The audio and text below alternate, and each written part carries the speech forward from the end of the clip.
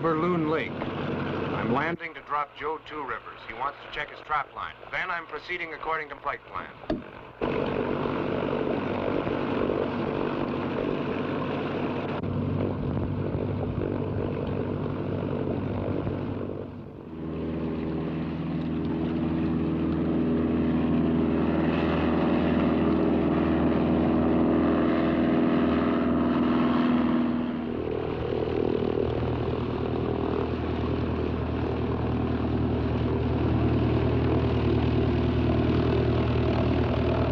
See you uh, three more days?